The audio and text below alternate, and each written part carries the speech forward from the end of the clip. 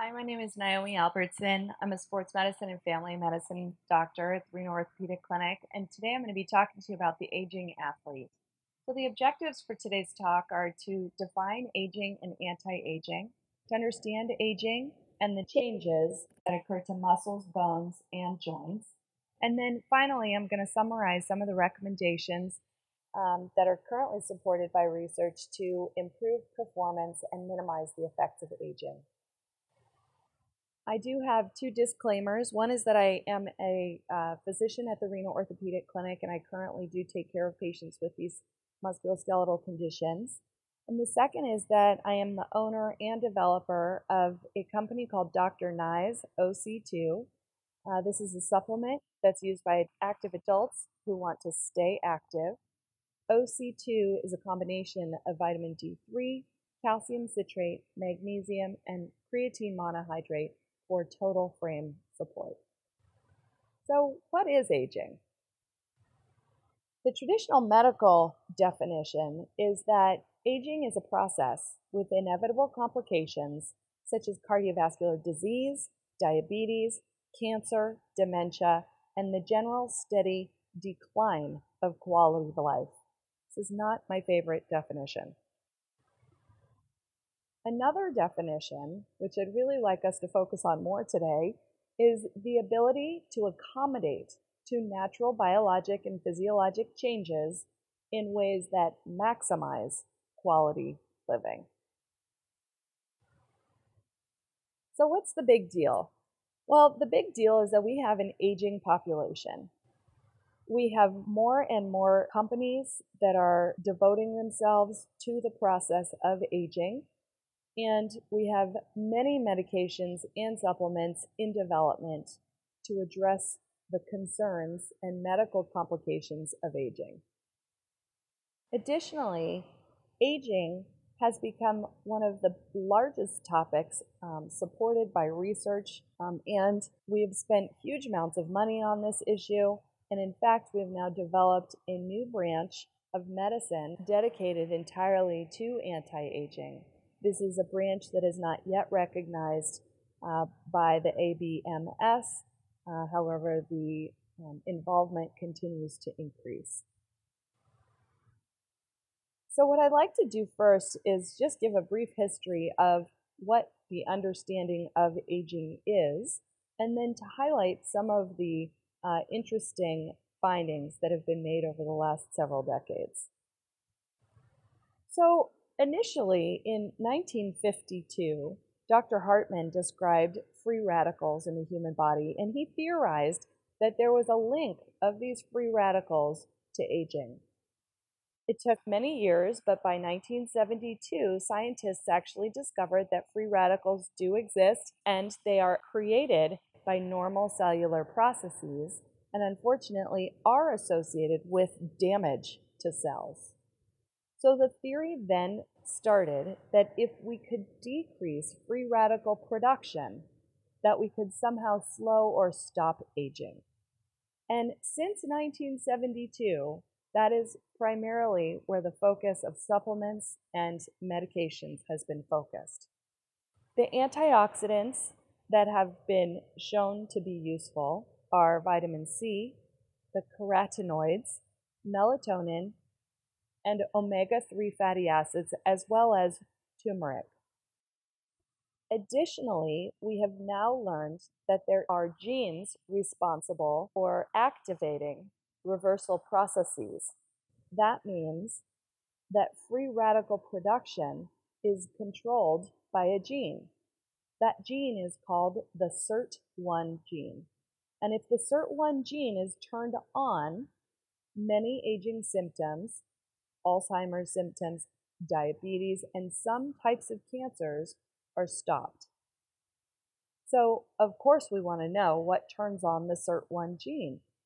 And until 2003, the only known activator of the SIRT1 gene was calorie restriction. But after 2003, a product called resveratrol was identified. Resveratrol is a plant flavonoid that was discovered by French scientists when they were investigating why the high fat French diet was not associated with cardiovascular disease. They were able to find this plant flavonoid and realize that it activated the SIRT1 gene and actually stopped nearly all cell death and reversed the cardiovascular injury caused by free radicals. In 2006, further research showed that in mice who were given high fat diets, they had a 30% decrease in death when they were given resveratrol. Additionally, those mice were found to have doubled their endurance.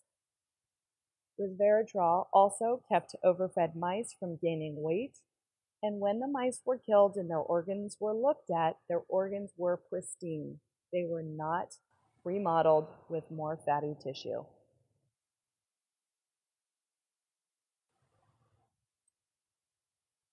So, of course, we all want to know where do we get some resveratrol? We would need quite a bit of resveratrol, as you can see here, in order to have the same effect that the mice experienced in the French studies.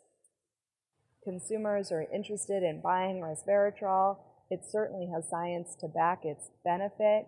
Um, that being said, in 2007, Consumer Labs tested 13 different companies that were producing over-the-counter resveratrol and found that some of the supplements actually had no active ingredient at all in them, and that the cost of these supplements varied from a dollar to $75 per gram and was really not associated with how much active ingredient was present. I guess the good news is that in 2006, Dr. Sinclair and his group of Harvard genetics PhDs and researchers um, published a study that showed that resveratrol really truly could extend the lifespan of mice.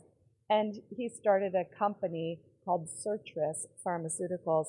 That company was then purchased by GSK in 2013. Um, they shut down further uh, evaluation of resveratrol primarily to focus on more promising activators of the SIRT1 gene called sirtuins.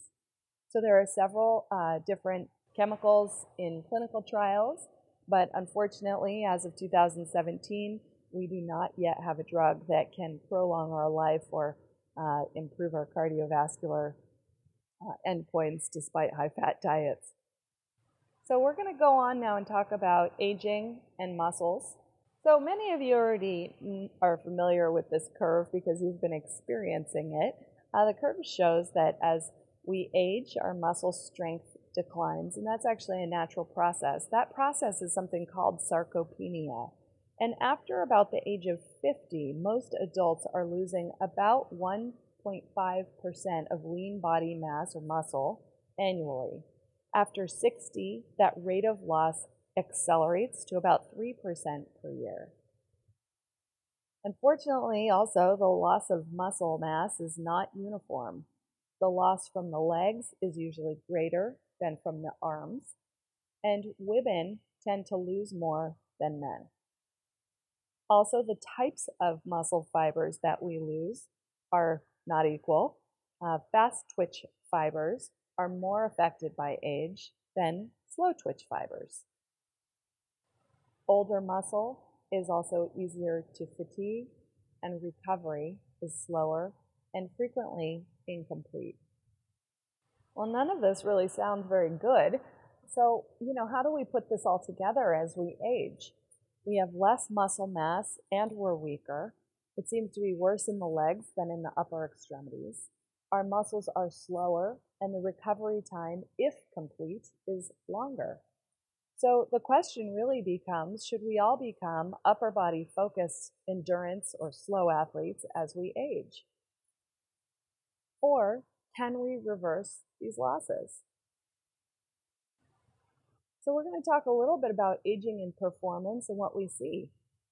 Well, I think for the senior Olympians out there, is a really important thing to keep an eye on is that you can't really let age be a deterrent toward the amazing muscle gains that you can see even as you age. And we all know that, that if we start doing some exercise programs and we really focus on what we're eating in order to gain muscle, that we can truly still see gains even as we age. So, although we can gain muscle, we really can't gain muscle to the point uh, of the top elite athletes um, who are much younger. And I'm just going to make that point by showing you here that the world record currently for men was set by Dennis Kimetto September 28, 2014 at the Berlin Marathon. And his time was 2 hours, 2 minutes, and 57 seconds. When you compare Dennis's time to the 2016 results from the Senior Olympic Games for men's 50, 55, 60, etc., you can see that those times are almost doubled by some of the very top performing senior athletes. So I feel like I've sort of painted a picture here of doom and gloom for those of us who are trying to stay active as we age and certainly for trying to set any records. We probably won't be setting any world records at age 50, but there is an upside here. And the upside is that chronologic age versus fitness age are very different. For those older athletes who have maintained fitness, it actually correlates with a chronologic age that is much younger, meaning that your lifespan probabilities, your, again, quality of life is likely improved. And I've just left here uh, a website for a fitness calculator. If you'd like to go to that and put in your information, you can actually calculate your fitness age. The other thing I want to point out is that many senior Olympians didn't start athletics until middle age. And so, again, here we are talking about muscle decline as a normal part of aging. But I think it's important to point out that many of these athletes had already started to decline when they were able to get stronger and improve their fitness. So we're going to move on from muscle and we're going to talk about aging and bone. So over here on the right, there's a nice little graph that shows that with age, which is on the bottom here, our bone mass uh, changes. And as an infant, which is uh, time zero here, you can see that your bone is going to increase, assuming that you are taking in vitamin D, calcium, magnesium, and getting some regular weight bearing exercise. You are going to reach a peak bone mass somewhere around age 30 to 35, and that's going to be fairly stable until for women menopause occurs, and for men about 10 years later, so somewhere in the 60s and 70s, and we all start to decline. Now, the rate of loss for women is steeper or uh, more pronounced than for their male counterparts, and again, it seems to occur slightly earlier than men. That decline continues until uh, late into the 70s and 80s, but you can see here at the end of the curve that that rate of loss after menopause for women does seem to taper off. On the left side of the screen here, I just want to take a quick look at these pictures. The one on the left is normal bone, and you can see those nice thick cross bridges. Kind of looks like Swiss cheese, but nice thick Swiss cheese. And on the right side, those cross bridges are much thinner. There's more black space, and that is what we call brittle bones or osteoporosis.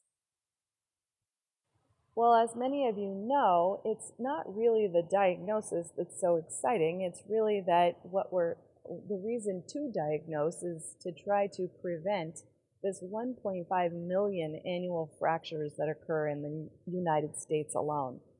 Um, vertebral fractures are particularly unnerving because two thirds of those fractures go undiagnosed, primarily because the amount of discomfort that they cause may not be severe. Um, and often those fractures are seen only because of height loss or uh, spine curvature changes. You can see here 300,000 plus hip fractures annually, and hip fractures, as many of you know, are quite associated with increased morbidity and uh, mortality or death rate. Wrist fractures, I don't know if anybody has ever experienced a wrist fracture, but they're not very fun and really limit your ability to care for yourself. So again, highly associated with morbidity. Well, we just saw the curve of how we're all going to lose bone. And so I think discussing for a brief minute here at least, how do we avoid bone loss or kind of minimize that loss and fragility of our bones as well is really important. I tend to be focused on non pharmacologic um, reasons because although I certainly do use and prescribe medications, I think that they need to be used specifically for people who are at risk. Um, non pharmacologic ways to prevent bone loss are use regular use of calcium, vitamin D3 in particular, mag- and magnesium, um, getting regular weight bearing exercise as both a stimulation to those bones for normal bone turnover, but also to maintain that muscle mass as best we can and minimize our risk of falling. Um, having a fall risk evaluation uh, and a home exercise plan to minimize falls, again, it's incredibly important. Uh, limiting any medications that may have side effects that are associated with bone loss, specifically steroids um, and dilantin. Um, and then stopping smoking, minimizing alcohol consumption. I think those are really critical, and we unfortunately are not doing a very good job in the medical um, world uh, with helping people achieve those uh, improvements. And then, you know, I write here sort of facetiously, but don't fall down. I mean, I can't say enough about that. I think certainly vertebral fractures can occur without falling uh, and actually just uh, sitting or, you know, uh, moving. But most of the other osteoporotic fractures that occur occur because of falls. And then on this other side, there are many medications listed here. Um, I'm not going to go through those today. So let's just talk for just a minute about aging and joints, because I think here we have talked about muscles and bones, but I really don't think our discussion would be complete without talking about what happens to joints over time. So on the left side of the screen, you can see this nice, beautiful, healthy joint. Now, the glistening part of this um, model in purple is not really purple in your body. It's actually white. And many of you have seen this type of cartilage on chicken bones, um, it's that glistening, shiny white cartilage. Unfortunately, as we age and we load these joints at times with too much excessive weight and maybe not enough muscle strength to support those joints, or if we've had trauma that has um, sped up the degeneration of these joints, we start to see areas of erosion, um, and there's then exposed bone. And bone, as I tell many of my patients, is pretty dumb, and all it knows how to do in response to stress is grow more bone. So it does that. We can develop bone spurs around the joint. And then, of course, if you line up these abnormal or irregularly contoured surfaces with a nice, soft, squishy pad that sits in many of our joints, this is a knee joint here, um, that you can actually cause uh, tears of those meniscal pads. So, how do we prevent degenerative arthritis? Well, I think that the um, mainstay of treatment is to maintain a lean body and minimize injury as best you can. And then, really maximizing the kinetics of how that joint functions by keeping your muscles strong and nice and flexible in medicine, you know, our treatment options for the treatment of these degenerative joints is to lose weight, again, unloading those irregular joint surfaces, to try to increase the range of motion and the strength of the supporting muscles around those joints, minimizing load on the joint, using anti inflammatories or pain relievers as needed, and then ultimately using surgery um, or joint replacement. So in conclusion, I want to talk about, you know, what can we do? Here we've just been talking about these natural physiologic changes that are going to occur as we age. And so I just like to highlight some of the few things that we can do to try to minimize those changes and maximize, again, the quality of our lives. I think the most important thing is that we're going to eat and drink to bring nutrients to our exercising muscles. I can't say enough about hydrating and about eating a varied diet um, and eating a diet that is high in protein, um, again, as we age. Staying healthy, so getting those vaccinations, um, again, eating a good diet, uh, maintaining, you know, excellent mental health. I think those are all incredibly important. Training our muscles for what we expect them to do and then letting them recover. I can't tell you how many patients I see who tell me, hey doc, I'm going to do this marathon. It's in a month. And I say, wow, have you been training? And they say, yeah, well, I started an online training course and uh, I just started training about two weeks ago. And, you know, my mileage is increasing and hey, my knee's starting to hurt. And that's why I'm here. It's my knee and my hip, right? So I think, you know, being reasonable about training your muscles, giving your muscles adequate time for muscle recruitment, um, and training specific muscles for the activity that we expect them to do. And then again, with recovery, um, we need time off. We need massage. We need rest. We need recovery foods. So um, that's a whole nother talk in and of itself. I do think that, again, as we age, giving our bones what they need the vitamin D, the calcium, and magnesium to keep those bones strong and healthy is incredibly important. And then again, coming back to diet, that high protein diet or one of um, either leucine, creatine, or branched chain amino acids to support your muscle recovery and muscle recruitment. So what about the antioxidants? You know, should we all be taking vitamin A, uh, you know, carotenoids, um, vitamin C, um, melatonin? And I think really, again, they may have some improvement in decreasing the degenerative processes in the body, but the purity of what is available over the counter and the benefits for decreasing illnesses is still somewhat unknown. A low calorie diet, again, we talked about how this activates that SIRT1 gene and leads to better fitness age. I think it's really important. Follow a low calorie diet. Look at what your basal metabolic rate is and eat accordingly.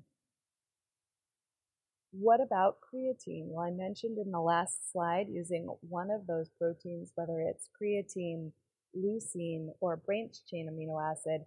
Think there's very good research to support that these are beneficial in minimizing muscle loss and may be helpful in improving muscle gains as we exercise. And then finally, calcium, vitamin D, and magnesium again for normal bone health.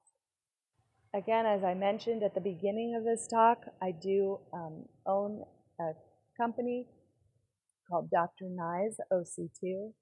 And the reason that we developed this supplement was all of the above information we've been discussing. Um, again, it's a powder. It can be mixed readily with cold uh, liquids or semi-solids to give you a daily dose of calcium, magnesium, vitamin D3, and creatine monohydrate. Please check it out on boneandmuscle.com. And these are my references. Um, these are also, um, several of these are listed on my website, um, but I would encourage all of you to read through uh, some of these articles um, to really learn more about this very complicated medical topic.